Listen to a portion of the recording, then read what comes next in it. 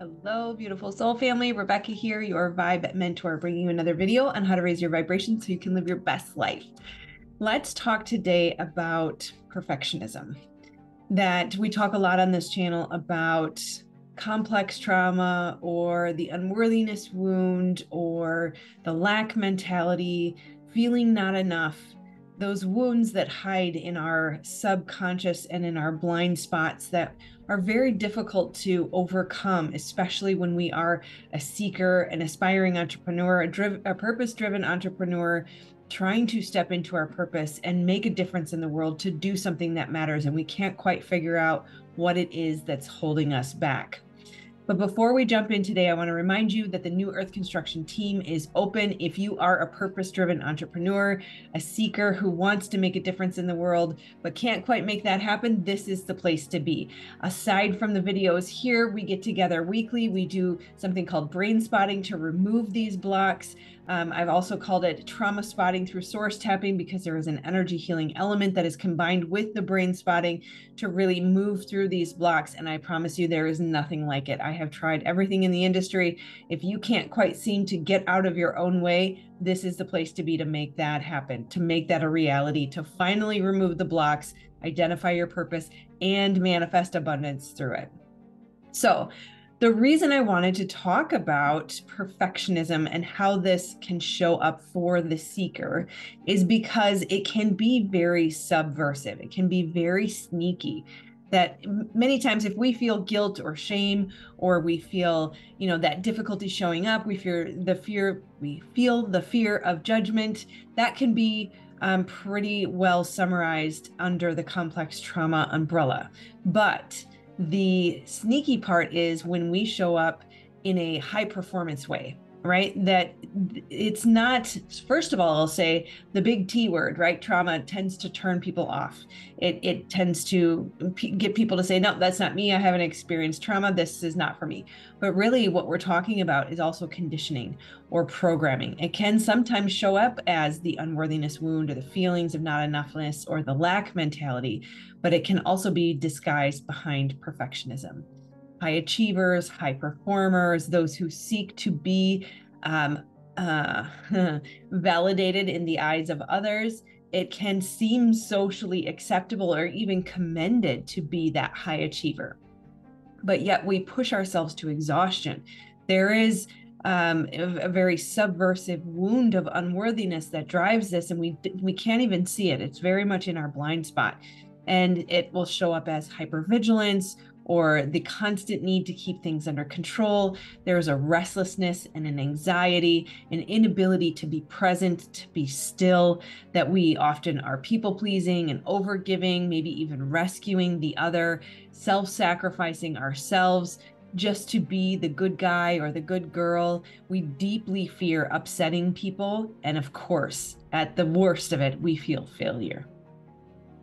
So that can be um, commonly characterized as appealing or desirable in our current culture. That people who are high achievers excel in business and do really well and, and can gain some respect. And yet, at the same time, as within, so without, those people that climb the ladder with us or just before us can sense our sensitivity or our um, our lack of self confidence, and they will go after that. And oftentimes, we will find ourselves in situations where there's a power control, a power dynamic, a struggle for control in that environment. And what I've found is that very commonly, that there is a, a connection between the striver or the seeker who is searching for something and also that perfectionism right? That it is part of the human condition. They say in psychology that humans are driven towards progress. And yes, some are more so than others, but many times it comes from an unhealthy place a subconscious belief that we have to prove our value and worth. Many times I, I feel this shows up for people, not I feel, I see in my work that this shows up for people who did not feel safe or seen or heard as a child. And oftentimes their safety was questioned because of their inability to be seen or heard. that maybe you were the youngest child or maybe there was a child who was sick and you they got all the attention and you didn't or maybe it was that you were the most responsible one maybe the other child your other sibling was um, you know always acting out getting in trouble and so they required a lot of attention but because you were the good kid they didn't need to give you as much attention. And so that will create that desire to be seen. And yet it is very fascinating how this this wound works because it's it's a tug of war right? I want to be seen and validated yet i fear rejection and judgment and failure. So i'm it's a push pull right? Uh, i put myself out there and then i pull myself back right that there is a, a yearning and a desire and a wanting towards self actualization or accomplishment or progress we think that we're pursuing happiness but when we look really deep we're trying to get away from something. We're trying to get out of a situation. We're trying to escape this feeling of not enoughness or lacking fulfillment. That we can perfect ourselves into a mundane life and then feel unfulfilled and unsatisfied. That we're trying to play both sides and we cannot find a middle ground. We can't rectify within ourselves what is it that I'm seeking? What is it that I'm running from? What is it that I'm running toward? It's an unquenchable thirst. And I believe this, not I believe, again, I see in my work, this shows up in many different ways for people that we all have different labels and different names for the thing that we are seeking. Maybe it's happiness, maybe it's fulfillment, maybe it's wealth, maybe it's fame, maybe it's fortune, maybe it's just peace. Maybe it's a family, but it's constantly seeking, constantly moving towards that next thing that's going to quench this thirst. And when we get there, it's not quenched, and we seek the next thing. And it's unsustainable. Many times we will even run ourselves into the ground, taking on too much, taking on too many responsibilities for other people, not taking care of ourselves, creating disease in our body, high levels of stress, and literal illness through the dis-ease in our bodies. At the end of the day, whether we're dealing with the unworthiness wound, the lack mentality, conditioning, programming, complex trauma, whatever you want to call it, it boils down to the way we define ourselves the value and worth that we have assigned to ourselves, and the thing that we are seeking, however we label it. But in my experience, what I am seeing the evidence of in my own life as well as for my clients is regardless of whatever label it is that we call the thing we are seeking happiness, fulfillment, etc. It is all found in stillness. That beneath happiness is contentment. That beneath the desire for wealth is the belief that we will be fulfilled, we will be satisfied, we will be content, we'll be at peace, we will be still.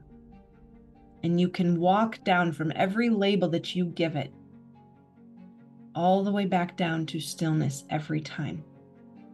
And stillness is not silenced mind, right? It's not forceful, it's not efforting, it's peace. That in the anxiety of the never ending pursuit of accomplishment or self actualization or progress or achievement or accolades, what we seek is to be at peace within ourselves, to be fulfilled and content, to be satisfied, to be satiated. It's all different ways of saying stillness, the turmoil, the anxiety, the inner chaos is created by the separation, the belief in lack, belief in separation, which creates the attachment to outcome and the belief we have to control it. So while this channel talks a lot about complex trauma and wounds and feeling not enough, but if you still resonate with that seeking, that searching for something more, if you have done all the things that they said you should do, You got the good job, you got the house, you got the family, you got the car, you got the stuff. Everybody else looks at you from the outside and says they're keeping up with the Joneses, so they must be happy, but it doesn't cut it. There's still something more. This may be the video for you. So, how do we get there? Stillness is our core. Stillness is our true nature fulfillment, happiness, peace, joy. It is our core nature. It is our truest state of being. And that's why we seek it as if we were separated from our home. So if we know that that core is there and all these other layers of belief around ourselves, around the world, around others, the belief that we have to prove something, that we have to accomplish something, that we have to earn something, we have to prove something, we have to defend something. All of these beliefs are the layers around that core and getting to your truth, removing all of these layers is easier than ever before.